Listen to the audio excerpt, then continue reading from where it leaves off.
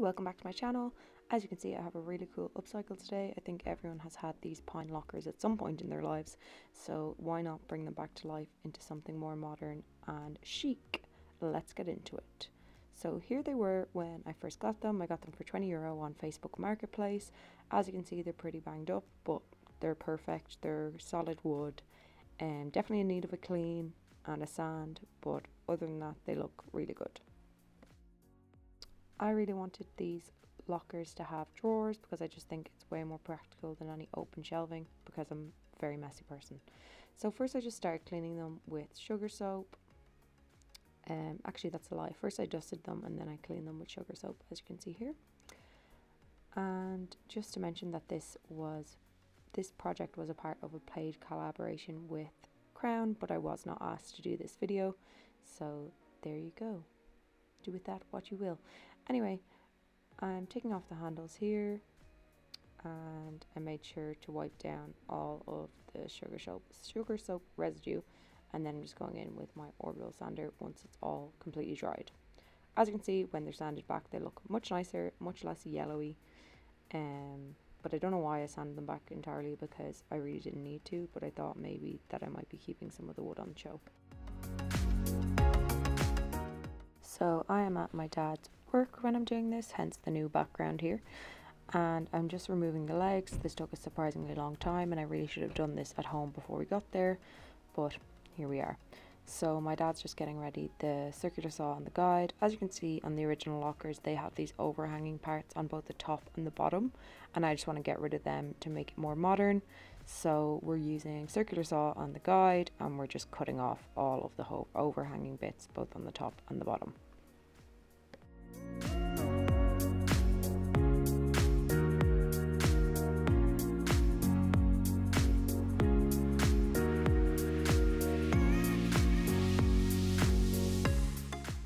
So this is them after that part is done. They look a lot more modern, I think, um, and just a clean slate.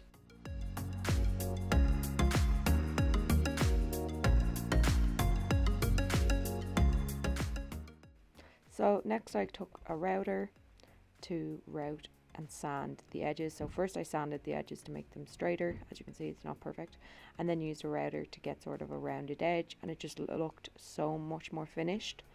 Um, I've never used a router before, but I'm converted. Love them so much. Um, this is my dad's. I think it's just from like Aldi or Lidl or something. So really impressed with that. Next up, I'm cutting down these paint stirrers for the herringbone pattern I'm going to do on the drawer fronts. So as you can see, I cut off this little handle part here that you see. Um, and then I cut that in half again. So here's all of the little handles cut off and I use a chop saw for this. So here is my neat little pile of all of the paint sticks that have been cut down. I dry fit um, the herringbone pattern to decide which direction I was going to go in. Just wanted to show you also my messy workstation. But look how many I've cut. So satisfying. Um, they're a little bit ragged around the edges, so I'll just give them all a quick sand before I glue them down. As I said, I decided to go in a different direction with the pattern um, rather than going from um, the top down. I decided to go from left to right. So I think this looked a lot better. So here I am sanding each stick individually. This actually didn't take very long at all. And then I'm going to draw a line so that I can put the tip of the arrow, I guess, of the pattern um, on that line so that it's centered. And this is going to be my center drawer of the lockers. Then I'm just applying wood glue. I used way too much wood glue here. And then I'm just going to put down my pattern all over. And once you start it's it's a lot easier. It's just hard to get going I guess to get the first ones in the right place. Because as long as they're in the right place then everything is so I clamped a piece of scrap wood on the top to stop them moving and this is how it turned out. As I said I used way too much glue and I had to sand that off but it still looked pretty good. So to continue the pattern onto the next drawer because I wanted them to sort of continue and look a bit seamless um, I just lined it up. I just put the drawer against the other drawer and lined it up and marked where a couple of the sticks would go and then just followed that. So this one won't be on the center, but that's okay because I wanted the center drawer to be centered and the other ones to follow that pattern. So you can see I had to use scraps just to get um, small areas filled, but they look pretty good. So as you can see here, I've cut back all the overhanging bits in this clip. Here's my dad helping me. So let me show you how we got to this point.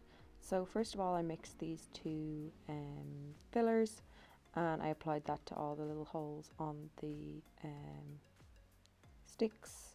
So here I've actually already cut them. So sorry, I'll talk about that in a sec. Um, yeah, so I filled it and then sanded it down with my orbital sander. But as you can see, um, I cut it with my jigsaw and it's all wonkety. So in order to sort of hide that, I'm using um, these like decorative molding, I guess it is, and gluing them down and then putting pin nails into them. So here I am spreading the glue just with a piece of sandpaper. It's the same wood glue from earlier. And I'm just popping that on. They've been cut at a 45 degree angle, I should say, so they meet up at 90 degrees. You can tell my dad's filming this because Sue had to go out, and also he filmed it the wrong way around. Thanks, Dad. Anyway, there I am hammering it into place. Um, I sanded it a little bit because my cuts were a little bit wonky. I used the chop saw for this as well because it has like the function to change the angle or whatever. But you could just use like a normal miter box or whatever. So yeah, I'm just dry fitting it there to see that it's all working because obviously the last couple of pieces are most important. And it was, so I just went in with my glue and pin nailed them in. Um, I probably, I don't know how many pin nails I used, probably like four on the bottom or something, maybe five, and then like three on the sides. If you hammer them in far enough, then you can sort of put filler on and sand it back, and it just sort of disguises the pin nails. On the bottom of drawers doesn't really matter, but you can see them obviously on the top and the sides, so um, it's nice to do that.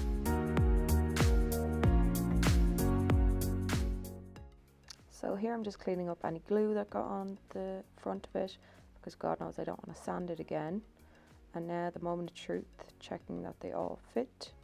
I should say my dad did some adjustments when we were cutting over the overhanging bits because I had done it and it was quite messy.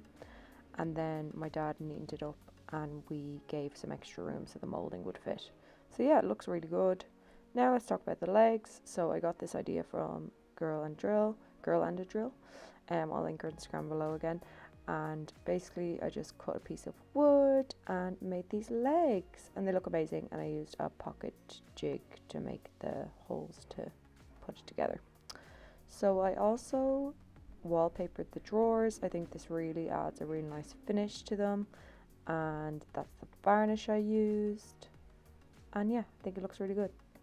I should also say I use Mod Podge to stick down the wallpaper. I have a tutorial on how to cut the wallpaper to size, also on my Instagram, I will link below. Okay, so next up I'm priming the outside of these because I'm actually going to paint them. I use Zinsser BIN because this will like seal in all the knots from the pine, otherwise those knots will just seep through into your paint and look really ugly. So that's what I'm doing, I'm using a 2 Fussy Blokes roller, semi-smooth, and it had already been sanded and all that jazz.